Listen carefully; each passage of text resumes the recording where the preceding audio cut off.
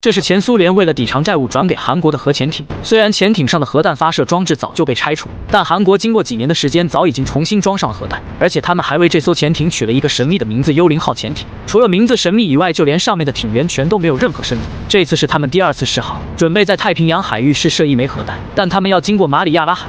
那一带肯定会有日本和美国的潜艇出没。不过艇长早就想到了应对方法，他们这艘潜艇的最大深度要比日本潜艇深一百米，应该日本潜艇很难发现他们。如果被美国潜艇发现，最多也只是认为这是一艘俄罗斯潜艇，美军不会把他们怎么样。虽然计划很完美，但行驶过程中却发生了让他意想不到的事。很快，他们即将进入日本海，艇长对全体艇员发表了讲话，让所有艇员打起十二分精神，因为这片海域肯定会有日本潜艇和他们所设置的设备，稍有不慎都会将他们粉身碎骨。随后命令。潜艇下调八度，下降到一百五十米。途中，艇长将另一枚核弹发射钥匙分发给了武器官，让他一定保护好钥匙，不让其他人知道。可他刚从艇长房间出来，就被人注意到。与此同时，正在艇内检测的人员突然发现异常情况。原来他们在潜艇上发现了一枚炸弹。艇员先将这件事情上报给了副艇长。会上，他们认为一定是有内奸混进了潜艇上。不过副艇长暂时没准备将这一情况上报上去，因为他另有目的。这时，潜艇已经在日本海域行驶两分半，他们并未发现有日本潜艇。于是，艇长让副艇长接管舰桥，艇长则是前往日晒区休息。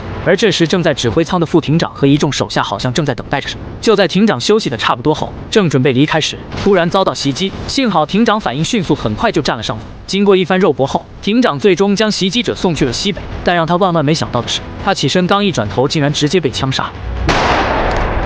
持枪者正是副艇长，枪声很快引起了武器官的注意。他迅速走出舱外，只看到不少有配枪的艇员正赶往指挥舱，而且这时广播里还传来副艇长的讲话，表示艇上出现叛乱，有人杀害了艇长，他已经将袭击。者就地正法。现在根据海军规条，由自己指挥这艘潜艇。他顿感大事不妙，立即跑向指挥舱询问副艇长究竟发生了什么事。他表示袭击者意图炸毁这艘潜艇，因为他们在艇上找到一枚炸弹，而且现在不知道艇上还有多少人。自从上次试航被美国和日本发现幽灵号的存在后，有些上级领导对于美国和日本施加的压力早已经扛不住，所以他们才会安排人员混进幽灵号。如果是这样的话，他们现在何必冒着被美日潜艇发现的危险前往太平洋试射核弹呢？再加上他们之前就查到日本正在发展核武舰，一旦日本核武舰形成战斗力，带给他们的只有更大的威胁。这次不如直接向日本发动攻击，因为幽灵号上的核弹足够将日本所有潜艇基地摧毁。就此，一场大战马上开始。潜艇到达核弹发射深度后，他们再次确认发射目标，然后副艇长将核弹发射钥匙插入了控制台。可这时武器官却犹豫了，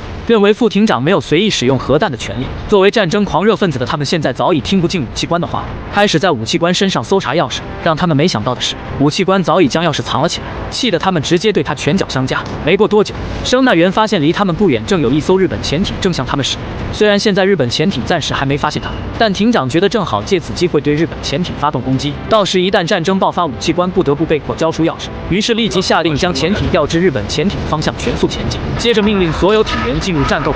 很快，日方潜艇就发现了他们，不过并未对他们发起攻击，反而是避开了他们，因为日方不知道他们这艘潜艇的目的。这下正好给了他们突袭的机会。艇长立即下令停止前进，让潜艇上升十度，然后让一号和二号鱼雷做好准备，锁定目标后，直接发射了两枚鱼雷。